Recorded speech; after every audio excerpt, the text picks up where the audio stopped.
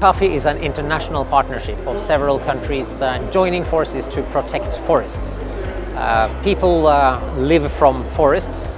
Forests are important to the economy, forests are econ important to the lives of people, but the forest is also of immense importance to the climate, to rainfall patterns, to agriculture.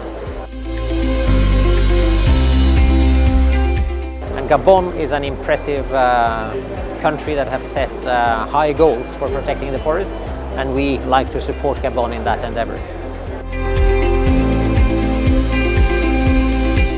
Uh, I had recently had the pleasure of uh, being at a meeting in London with um, President Bongo who uh, impressed the audience with his very clear dedication to uh, protect the forests of uh, Gabon.